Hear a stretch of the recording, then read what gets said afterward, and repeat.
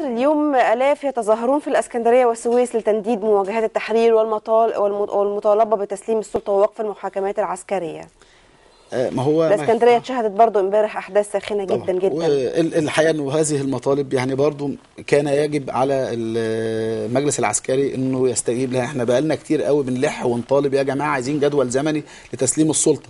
عايزين وقف المحاكمات العسكرية. آه، ما كانتش محتاجة الناس تنزل للشوارع بهذه الكثافة وما كانش الأمر محتاج إنه تسيل دماء شهداء جدد آه، آه، تعلق دمائهم في رقبة المجلس العسكري علشان آه، ياخدوا قرار يا ترى هياخدوه كمان أو مش يقال يقال امبارح إن هم حاولوا إن هم يقتحموا مديرية أمن مديرية أمن اسكندرية وبرضو فهنا في ميدان التحرير قالوا إنه في محاولة لاقتحام الداخلية.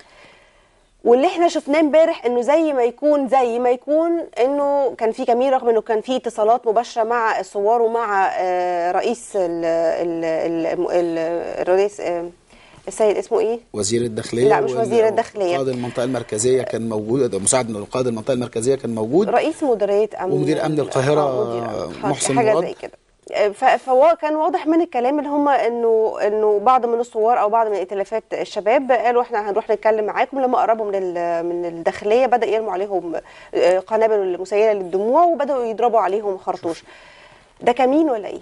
لا هو وهل ده حصل ولا لا؟ لأنه في أخبار كمان كانت بتطلع مش صحيحة عن طريق عن هو هو هو ال- ال- الحقيقة برضو إنه ال- الأمور دلوقتي يعني عشان كده أنا بقول إنه يعني هو ما نشهده هو نوع من شكل من أشكال الفتنة لأنه الأوضاع بالغة الغموض وصمت الأجهزة المعنية يزود الأمر غموض آه، اللي حصل آه، يعني آه، في ميدان التحرير امبارح هو في في بصي في مناوشات في في في تحرشات مستمرة بين الطرفين الحقيقة برضو علشان يعني المتظاهرين الأغلبية تؤيد الاعتصام في الميدان والالتزام بيه عشان كان في يعني وال- تصريحات من. الشرطة بتقول حاجات والالتزام بيه لا يعني. والحقيقة يعني أنا أنا شفت واقعه برضو كان فيها حد بي بي بيدعي بيقول لهم شايفين في قناصة.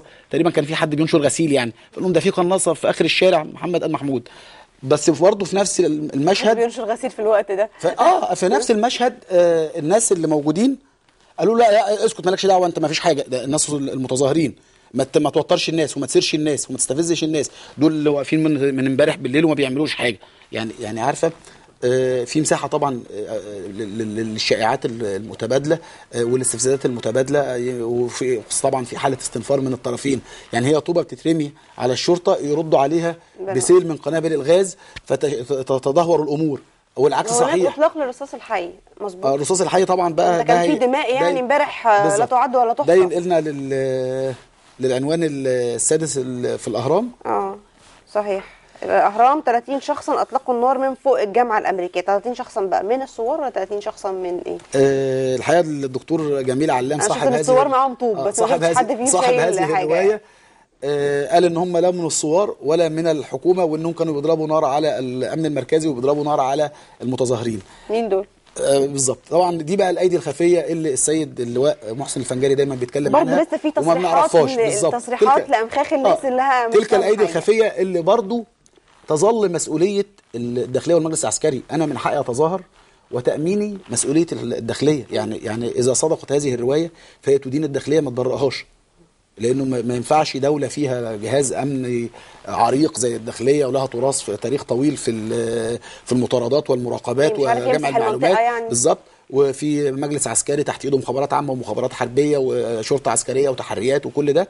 وفي الآخر يبقى عندنا مجهولين بيطلقوا النار في التحرير مجهولين أطلقوا النار في مسبيرو لا هم المتظاهرين ولا هم الشرطة العسكرية وتفضل الأيدي الخفية دي خفية وبتاع بتاع بس بالبلد بهذا بس الشكل فكرة ال- الحوار بتاع إن هم بيستدرجوا بعض ائتلافات ال- ال- الشباب ائتلافات الثورة بي- بيستدرجوهم لل- للداخلية ورموا عليهم بتاع وبعدين في الآخر كانوا بيقول أو كان ردهم إنه كان في شرطي أو أمين شرطة اتصاب ففي نفس الوقت فاضطروا إن هم يضربوا طب أنتوا عارفين إن الناس رايحة يعني طبعاً، في طبعاً.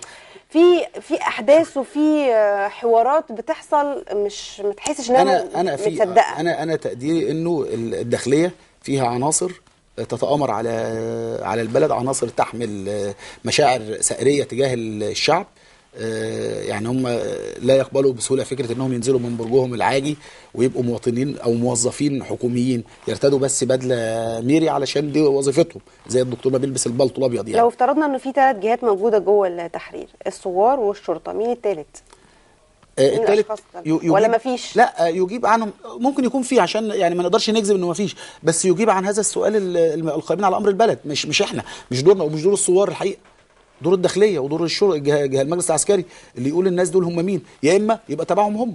يعني ما هم في كل الأحوال يتحملوا المسؤولية كاملة يعني. ال 30 شخص اللي أطلقوا النار من فوق الجامعة الأمريكية هم أساسا كان في اقتحام امبارح للجامعة الأمريكية ولكن الثوار حبوا إن هم قالوا إن كان في محاولة لل- للسطوه عليها.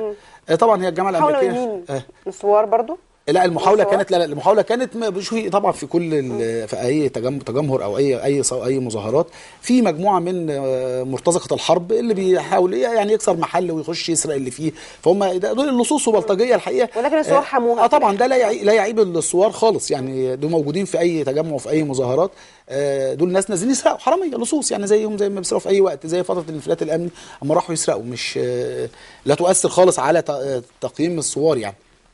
الشروق صفحة واحد العسكري يصدر قانون العزل على جثث الشهداء ودي بجد حاجة يعني هي توجع بقى ما هي دي, دي توجع القلب. وهي دي الحقيقة المؤلمة إنه احتاج 30 آه، شهيد علشان يطلع قانون. في الآخر كل اللي قعد إحنا من 10 شهور بيعمل إيه؟ غير تستبدل كلمة آه، إفساد الحياة السياسية بكلمة الغدر أينما ذكرت. ده كل التعديل اللي اتعمل في قانون الغدر آه، علشان يطلع وعلشان ننتظر أربع شهور. وعلشان يطلع قبل الانتخابات بأربع أيام ما نقدرش نعمل ما نقدرش نستفيد بيه لو شغلنا كل محاكم العالم بكامل طاقتها من هنا لحد الانتخابات علشان يحسموا مصير مرشحين نراهم إنهم أفسدوا الحياة السياسية مش هيقدروا. فطلع القانون الحقيقة قانون آه، بلا جدوى يعني.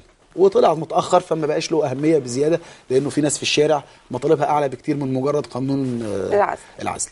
المظبوط صح. ال- المصري اليوم صفحة أولى المعتصمون يكتبون أرقام التليفونات على ازرعهم لتسهيل التعرف عليهم.